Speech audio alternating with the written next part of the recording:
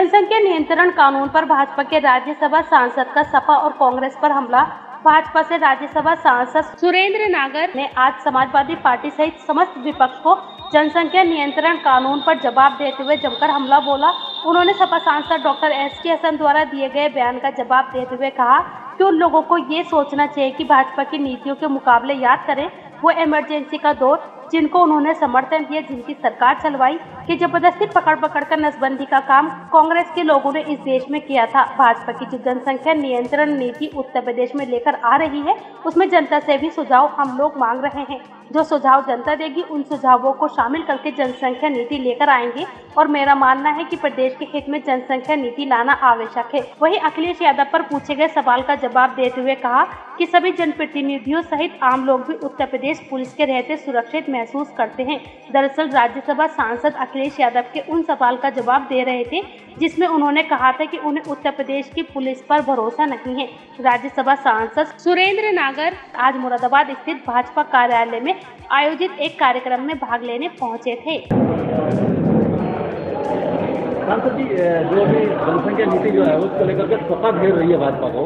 अभी यहाँ से स्टेशन है डॉक्टर अब्दुल संसार उन्होंने कहा है कि दो बच्चे नहीं तीन बच्चे होने चाहिए। और ये भाजपा का प्रोपगंडा है उन्होंने ये कहा। देखिए लंबे समय से इस देश में इस पे बहुत लंबे समय से एक बहस चल रही है।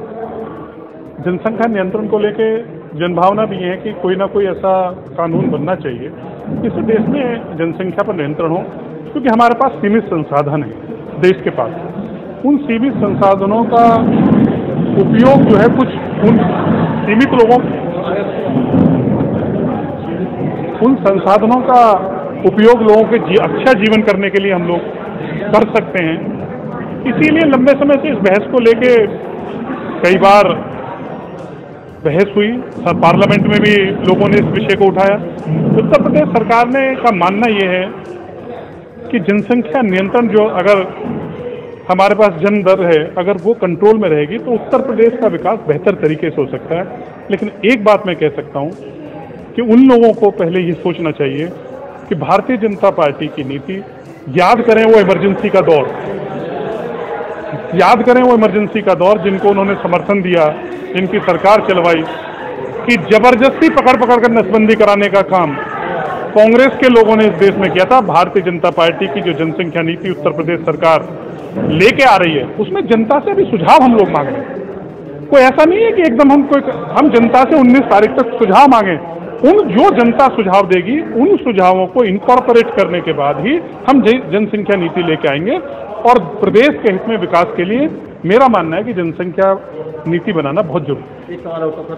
कल कल एटीएस एटीएस ने कुछ आतंकी पकड़े थे। उसको लेकर अखिलेश ने कहा कि मुझे यूपी पुलिस का भरोसा नहीं है।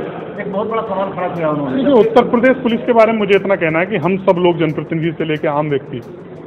आज उत्तर प्रदेश में जो योगी जी के नेतृत्व में आज पुलिस जो काम कर रही है, उसमें सब लोग सुरक्षित महसूस कर रहे हैं।